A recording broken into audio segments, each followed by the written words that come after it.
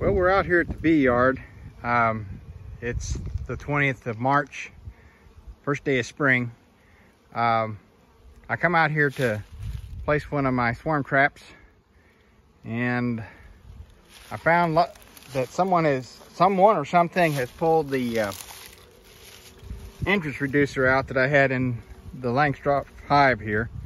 So uh, there's a lot of activity. I'm gonna put this back and uh, I will bring you along when I set up this trap. Well, I put the entrance reducer back in. Um, I'm not sure what happened there, but I'm going to open this up and uh, check the hive since the reducer was out of it. I probably won't pull any frames. Uh, just going to check to see um, how it's doing. So I'll be back in a minute as soon as I get it opened up.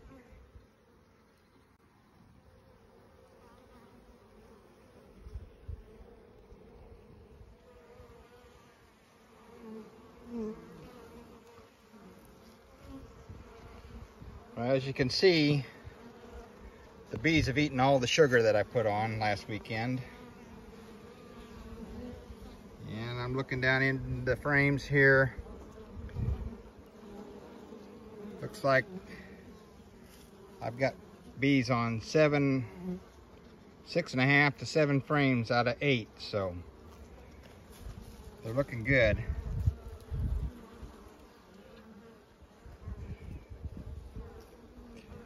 As I said earlier, I don't think I'm going to pull any frames out today.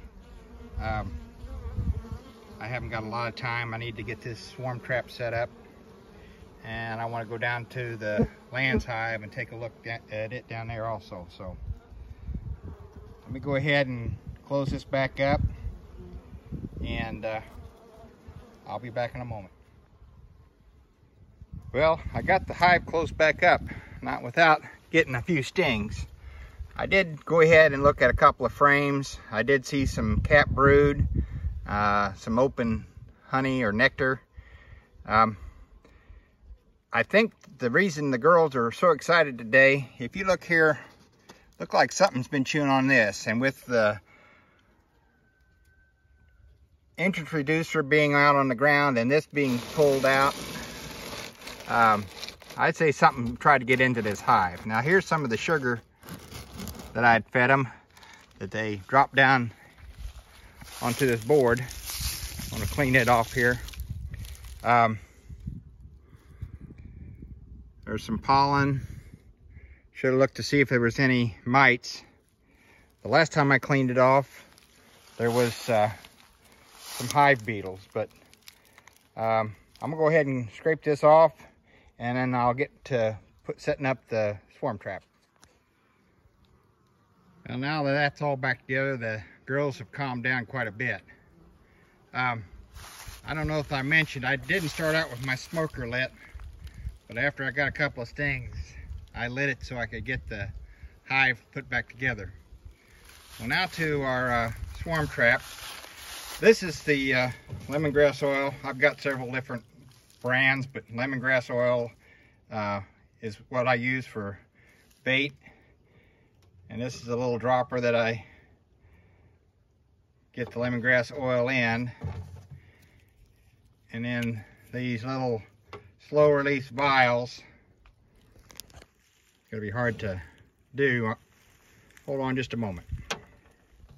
Okay, I'm back. Now you just use the dropper and you squeeze a little bit of the lemongrass in there and some at the entrance. But I ended up spilling a lot of it down into the hive, so and I had to wipe it out. So I'm not gonna put any more lemongrass in there. Um, that'll be plenty hopefully it doesn't uh, deter the bees. But uh, as with the other hives, uh, bait hives that I have, um, these are Langstroth frames that fit in this hive. Uh, I do have uh, another bait hive, which I'm going to put in, put up later today, which is a Lang, I mean a Layens so uh, I'll show you that. But this hive has a little eye hook as you can see that I just put that in. Put this off to the side here. Better put the cap on first.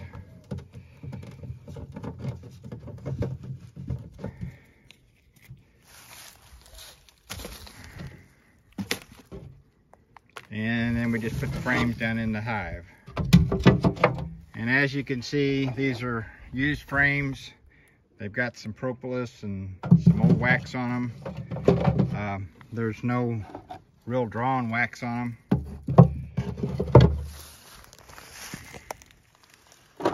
And we'll just fill it with these. Uh, had a trap out here last year, didn't catch anything. But since I've got my bees out here, I thought I'd put a trap out here just in case they would swarm on me before I found them. And hopefully it would catch a swarm in the trap. So um, just got to put the cover on and strap it down, open it up. This is a homemade disc that I made last year because I didn't have enough disc. Um, and then I'll strap it down and then we're headed down to the Layens Hive. Okay, I've got everything strapped down here.